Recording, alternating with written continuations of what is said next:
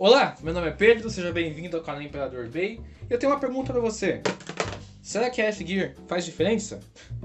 É isso que a gente quer descobrir hoje. Então qual que vai ser o lance? Dynamite Belial Nexus Venture 2 com, e aí, é, primeiro sem, depois com a F-Gear, vai enfrentar o World Spriggan e o Night Dash 2B no modo de giro livre e o Vanish Fafnir Tapered Kick 3. Em batalha até 3 pontos. Quem ganhar mais rounds, ou pelo menos ganhar mais batalhas, leva. Vamos lá. Vamos lá. World Spriggan contra o Dynamite Imperial, por enquanto sem a F-Gear, né? A F-Gear é uma peça adicional que você coloca no layer do Dynamite Imperial para adicionar borracha ao ataque dele. Essa peça vem no Vanish Fafnir, é feita para melhorar o seu Belial.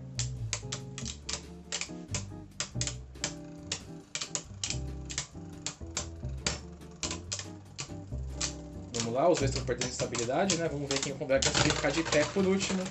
Que mais uma vez é o Belial, porque ele é muito estável, é muito bom para desestabilizar os oponentes 1 a 0 Vamos lá, World Spriggan contra o Dynamite Belial, agora com o lançamento um pouco mais inclinado, para ver se ele tem um pouco mais de agressividade aí na batalha. A F-Gear adiciona também um pouco de peso no layer, né? Isso aí faz algumas graminhas de diferença, acho que umas 8 gramas, se eu não me engano. E é isso aí, 2 a 0 por desestabilização mais uma vez. Vamos lá, World contra o Dynamite.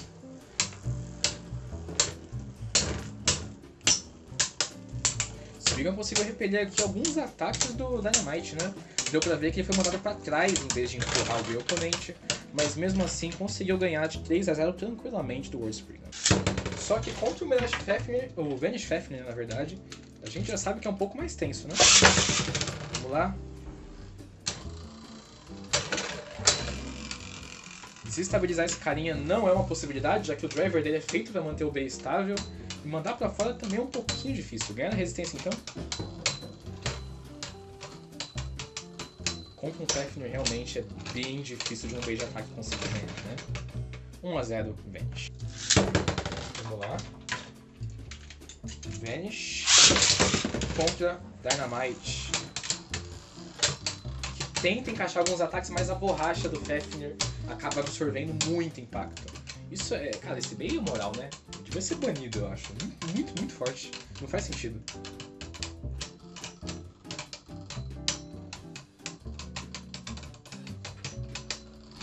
Vamos ver quem vai levar essa, né? Mais uma vez fica pro Vanish 2 a 0 Vanish Fafnir contra o Dynamite Belial. O lançador tá meio ruim, cara. Eu espero que a Saber Valkyrie lance logo? Já falei isso essa semana, não sei. Mas tô precisando urgentemente de um lançador novo, cara. Não dá não. ele é bom ainda, só que lá, ele tá dando umas engasgadas agora. Que é, complica um pouco pra lançar bem de ataque, cara. Pra ser bem sincero, atrapalha. Não que fosse fazer alguma diferença nessa batalha, né? O Fafnir é só muito forte. É só, só não é justo, saca?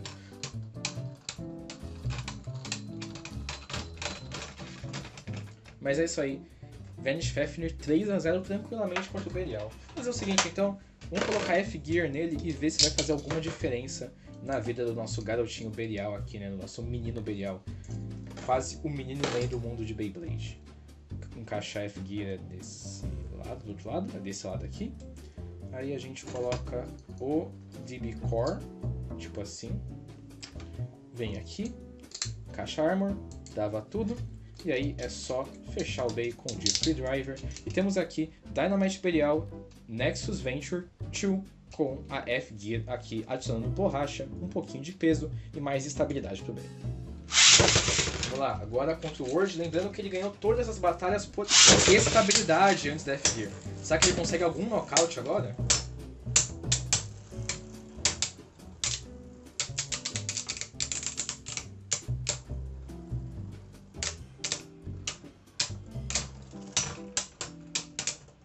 É, eu acho que essa aqui vai ficar com essa habilidade de novo.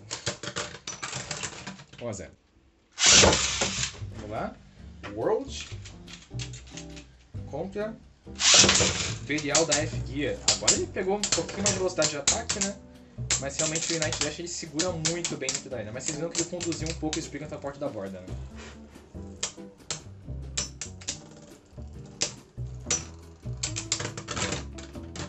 Dois a zero. Vamos lá. World Spriggan contra Dynamite Imperial. Olha! O impacto realmente aumenta um pouco, hein? Não dá pra negar que ele realmente bate bem mais forte. Especialmente dependendo do ângulo que ele consegue pegar o oponente.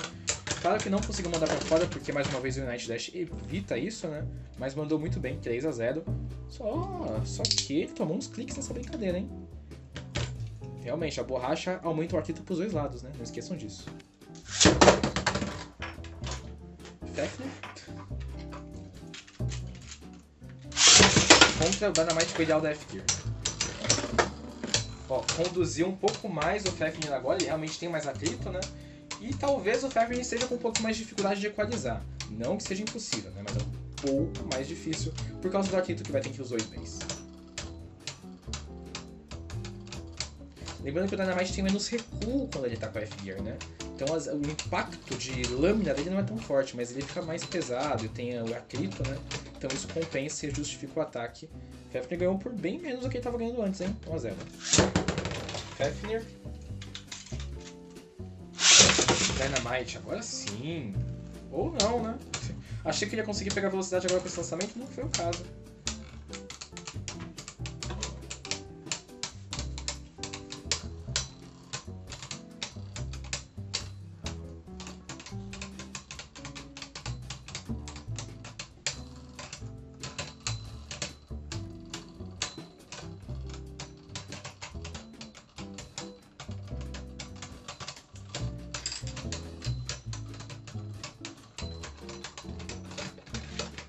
E é isso, 3 a 0 pro Vanity Factor, mas acho que com esses rounds, pelo menos, a gente pode concluir algumas coisinhas, né?